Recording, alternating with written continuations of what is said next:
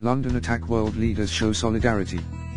Leaders of countries affected by recent terror attacks have voiced solidarity with the UK after the deadly attack near the Houses of Parliament.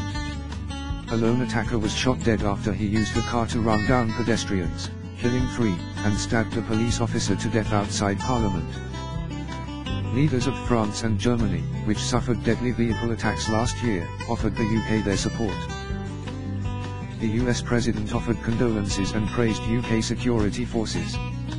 Among the 20 people injured by the car on Westminster Bridge are three French school children and two Romanians. In Paris, the lights of the Eiffel Tower went out from midnight, 23 o'clock GMT, in a tribute to the victims. President François Hollande expressed his solidarity with the British people, saying terrorism concerns us all and France knows how the British people are suffering today.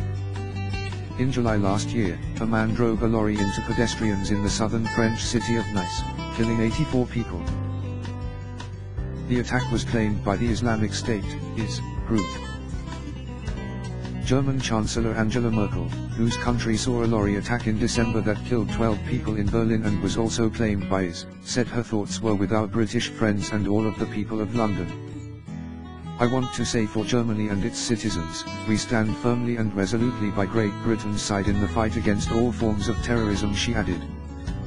US President Donald Trump spoke by phone to British Prime Minister Theresa May to offer his condolences and to praise the effective response of UK security services.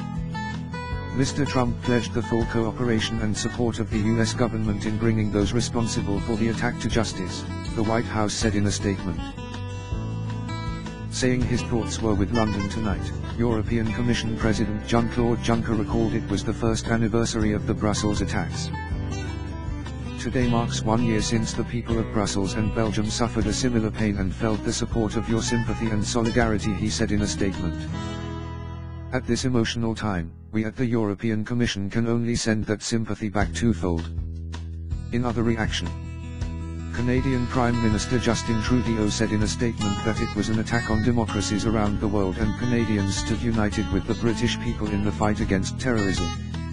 Australian Prime Minister Malcolm Turnbull said it was an attack on parliaments, freedom and democracy everywhere and offered his support and solidarity to the British government. Dutch Prime Minister Mark Rutte said, horrible images from London. The very heart of the city has been struck.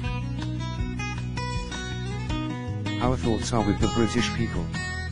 Russian Foreign Ministry spokeswoman Maria Zakharova expressed sympathy for the injured and offered condolences to the relatives of those who had died, adding, We don't split terrorism into categories, we consider it as absolute evil. At this moment, as always, our hearts are together with the British people.